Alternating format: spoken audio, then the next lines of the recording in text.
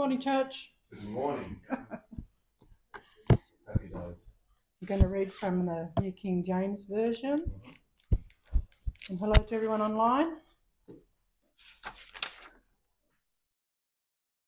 Well, the heading is What is Holy Communion? Good. Oh.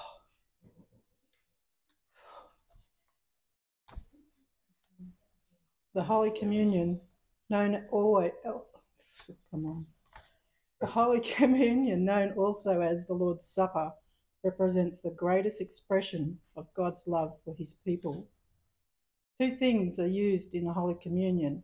One, the bread, which represents Jesus' body that was beaten, scourged, and broken, right down to the flesh and bone, before and during his crucifixion. And the cup, number two, which represents his shed blood on that cross. When Jesus walked on the earth, he was vibrant and his body was full of life and health.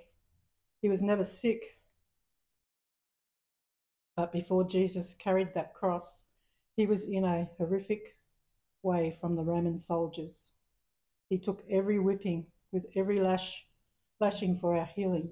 Mm. At the cross, God also took all our sicknesses and diseases and put them on his son, Jesus.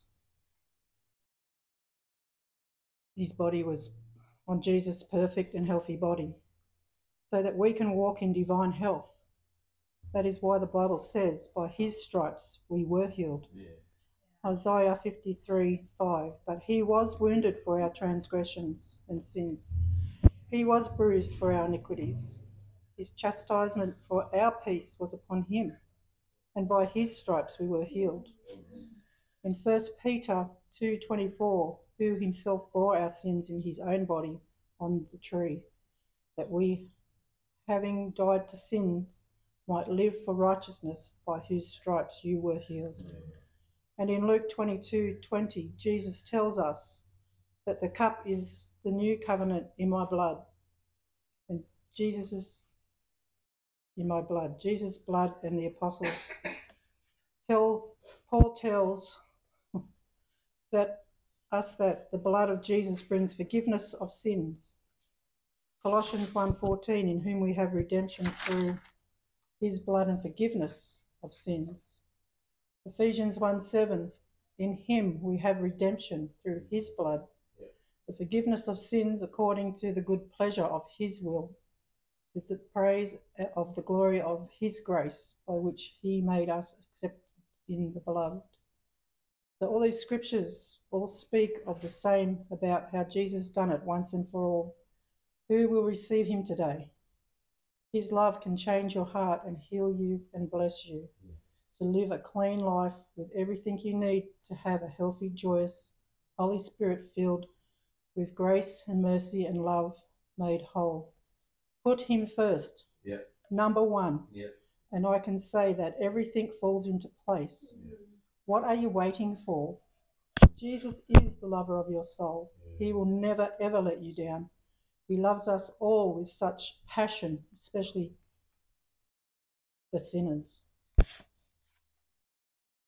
Dear Lord Jesus, we come to you today and remember all that you have done on the cross.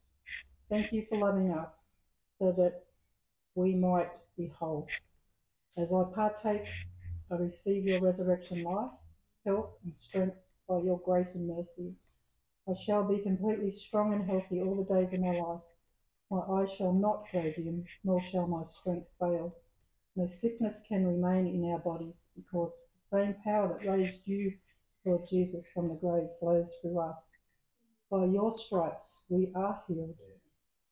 Okay, we'll take the and the wine.